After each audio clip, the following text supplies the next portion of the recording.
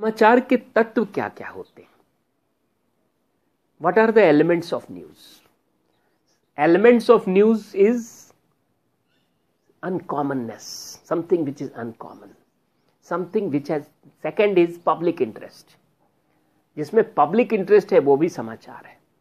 Then freshness news should be fresh contemporary timely उसको हम लोग टाइमलीनेस भी कहते हैं.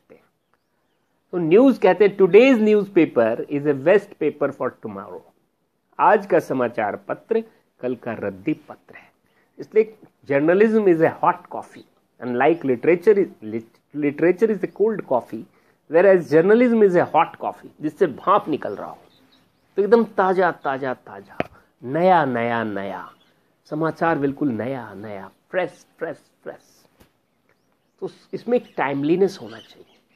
न्यूज़ में पब्लिक इंटरेस्ट, अनरूटीननेस, टाइमलीनेस, उसके अलावा प्रॉक्सिमिटी होना चाहिए। समाचार के अन्य तत्व हैं जिसको हम कहते हैं प्रॉक्सिमिटी। हिंदी में कहते हैं समीपता। समीपता मतलब नज़दीक की घटना, ज़्यादा महत्वपूर्ण खबर है।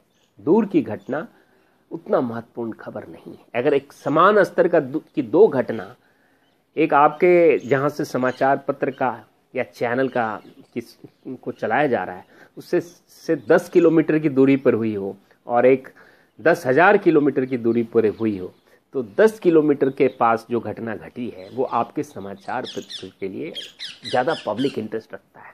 उसमें ज़्यादा न्यूज़ वैल्यू है, ज़्यादा न्यूज़ वर्दीनेस तो वो ज़्यादा महत्वपूर्ण खबर हो जाएगी। तो उसको कहते हैं proximity so we say proximity makes news proximity भी दो तरह का होता है। एक होता है जोग्राफिकल प्रॉक्सिमिटी भौगोलिक समूपता, समीपता, और एक होता है इमोशनल प्रॉक्सिमिटी जिसको हम कहते हैं भावात्मक समीपता।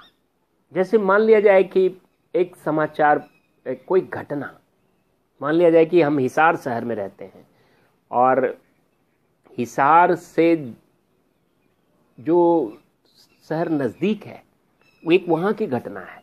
और एक बहुत दूर है तो नज़दीक वाली घटना ज़्यादा महत्वपूर्ण हो गई।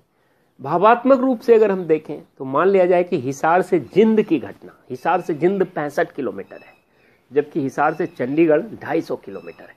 लेकिन चंडीगढ़ की घटना ज़्यादा महत्वपूर्ण हो जाती, क्योंकि चंडीगढ़ हरियाणा की राजधानी चंडीगढ़ में हर प्रकार के महत्वपूर्ण कार्यालय हैं, हर प्रकार के शिक्षा का केंद्र है, व्यक्ति हर काम के लिए चंडीगढ़ जाता है। तो चंडीगढ़ से ज़्यादा, यहाँ के ज़्यादा पॉपुलेशन वहाँ से जुड़ी है। प्रतिदिन, अगर देखा जाए तो हिसार से ज़्यादा लोग चंडीगढ़ जाते हैं, जिंद जाने की तुलना में। तो चंडीगढ़ दूर होने के बाद भी चंडीगढ़ एक महत्वपूर्ण खबर बनती है। उसी प्रकार यदि मैं दूसरा उदाहरण लूँ तो मान लीजिए कि पटना से दिल्ली एक हज़ार किलोमीटर है, और पटना से फिर आसाम एक हज़ार किलोमीटर है। यानी कि दिल्ली से आसाम दो हज़ार किलोमीटर है। अब आसाम में कोई घटना घटती है, या दिल्ली में कोई घटना घटती है तो आसाम के अखबार के लिए वो बिहार की घटना से ज़्यादा महत्वपूर्ण है। क्योंकि दिल्ली आसाम से 2000 किलोमीटर है, फिर भी दिल्ली की खबर आसाम के अखबार के लिए बिहार की खबर से ज़्यादा महत्वपूर्ण है। क्यों ज़्यादा महत्वपूर्ण है? क्योंकि दिल्ली भारत के आत्मा की धड़कन है। आसाम के लोग ज़्यादातर चाहे वो पढ़ाई के लिए जाएँ, चाहे वो व्यापार के लिए जाएँ, वो राजनीति के लिए जाएँ तो बिहार की तुलना वो दिल्ली ज़्यादा जाते हैं। दिल्ली में आसाम के भवन भी हैं दिल्ली में सभी राज्यों के भवन हैं। तो भावात्मक रूप से दिल्ली ज़्यादा महत्वपूर्ण हो जाता है। तो इसलिए दिल्ली, आसाम से 2000 किलोमीटर दूर है, जबकि पटना 1000 किलोमीटर दूर है। फिर भी दिल्ली की घटना आसाम के लिए अधिक महत्वपूर्ण हो जाती है, क्योंकि दिल्ली से वो भावात्मक रूप से जुड़ा है। तो ये मैंने आपको भावात्मक समीपता का उदाहरण दिया था। इसके अलावा समाचार के तत्व होते हैं, जैसे कंट्रास्ट। कंट्रास्ट मेक्स न्यूज़ कहीं भी किसी भी प्रकार का विरोधाभास है तो वह एक समाचार के दायरे में आ जाएगा। किसी भी प्रकार का। जैसे मान लिया जाए, उदाहरण के लिए कोई बहुत लंबी लड़की है, उसकी शादी एक बहुत छोटे बोने से होती है तो वो एक, वो पिक्चर अपने आप में एक न्यूज़ मेकिंग पिक्चर हो जाती है।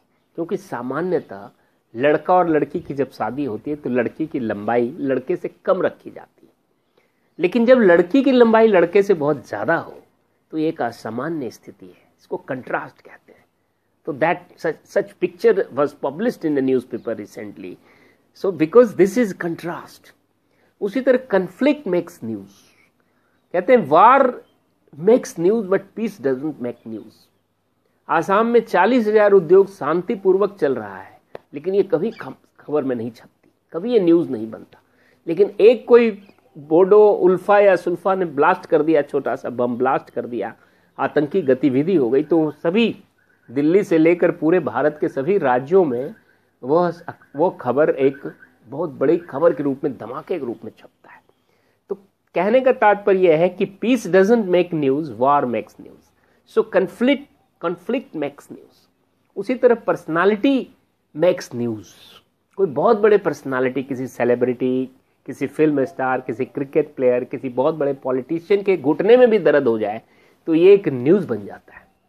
और जन साधारण बड़ी बड़ी बीमारियों से ग्रसित है, फिर भी वो न्यूज़ नहीं बनता, क्योंकि पर्सनालिटी मैक्स न्यूज़ तो इस प्रकार समाचार के कई तत्व हैं, इसको हम समाचार के क्राइटेरिया भी कहते हैं, या इसको न्यूज़ वैल्यू न्यूज़ वर्दीनेस भी कहते हैं। तो ये क्या क्या है? समाचार के तत्व क्या क्या है? तो सबसे पहला है अनकॉमननेस और समानता असामान्यता। दूसरा है जनहित। तीसरा, टाइमलीनेस।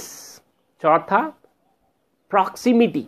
प्रॉक्सिमिटी समीपता ये दो प्रकार के हुए emotional proximity and geographical proximity उसके बाद कंट्रास्ट मैक्स न्यूज़ ये भी कंट्रास्ट भी समाचार के तत्व हैं।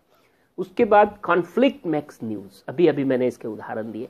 पर्सनालिटी मैक्स न्यूज़ इसी तरह बिग नंबर मैक्स न्यूज़ कोई कहीं डेथ हो गया किसी एक्सीडेंट में तो संख्या अगर बड़ी है तो बहुत बड़ी खबर हो जाती है। तो इसलिए big numbers So these were some of the elements or components of news which I have just discussed to you. And these are also called news criteria or news value. इन चीज़ों से समाचार के मूल्य को भी परखा जाता है। अगर ज़्यादा बड़ी कंट्रास्ट है तो ज़्यादा बड़ा न्यूज़ ज़्यादा अधिक बड़ी घटना है, ज़्यादा अधिक संख्या में कोई घटना घटी है तो वो ज़्यादा बड़ा न्यूज़ तो इसकी इंटेंसिटी से समाचार के मूल्य का निर्धारण किया जाता है। कई घटना में एक साथ कई तत्व समाहित हो जाते हैं। तो वो और भी बड़ा, बड़ी एक खबर के दायरे में आ जाता है। तो मित्रों, अभी मैंने आपको बताया कि समाचार क्या है और समाचार के तत्व क्या हैं, समाचार के अवयव क्या हैं, समाचार की कसौटी क्या है, समाचार के मूल्य क्या हैं। तब तक के लिए इजाज़त, धन्यवाद।